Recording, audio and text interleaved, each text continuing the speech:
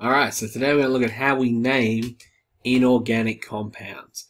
And basically, inorganic compounds are those compounds which aren't made up essentially of carbon and hydrogen um, and oxygen. And that's kind of it. So don't worry about that. There'll be more on that in a later video. But right now, we're going to look at how we name inorganic compounds.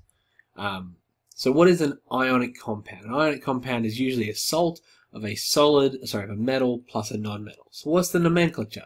Nomenclature is a word that means naming. So how do we name it? But you need to know what nomenclature means. Uh, what that you need to use that word. Use the proper words. Science.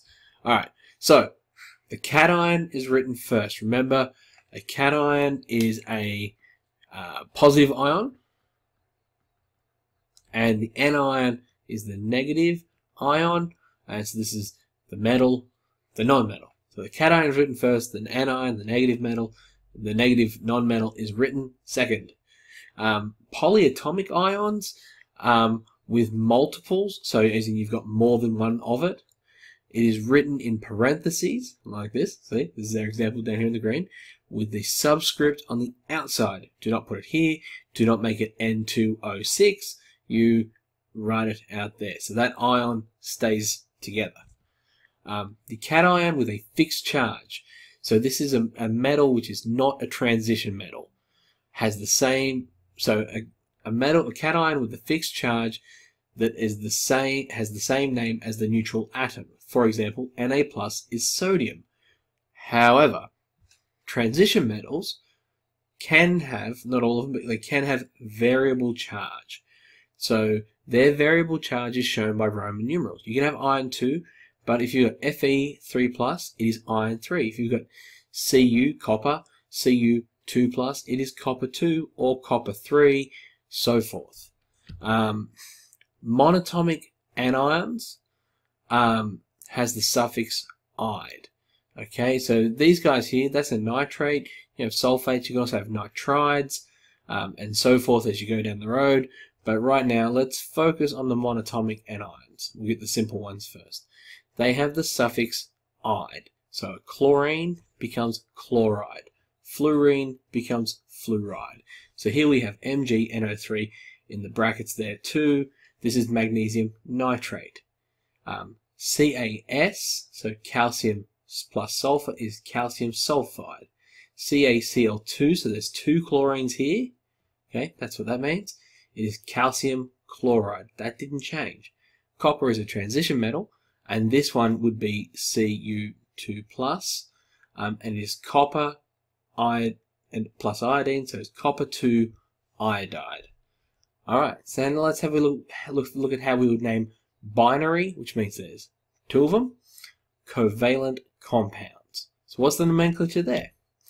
Now, the element in the lower groups with the lower group number is written first. And this is except, the exception there is when oxygen and a halogen. In that case, you write the, you write the halogen first.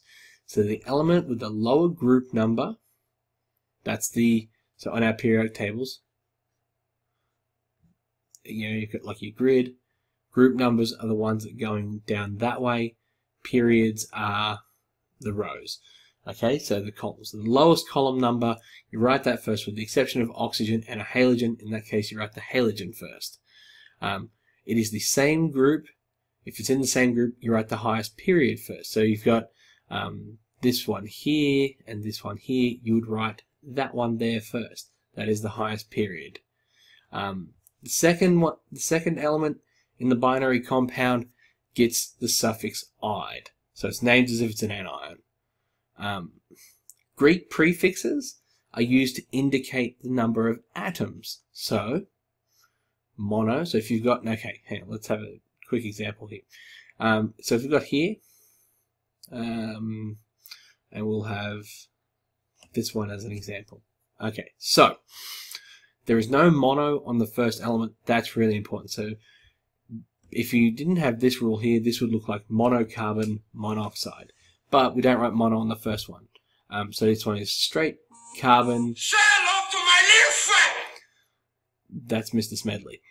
This one is a straight carbon monoxide. And see, there's two oxygens here, still named as an ide. It is carbon dioxide.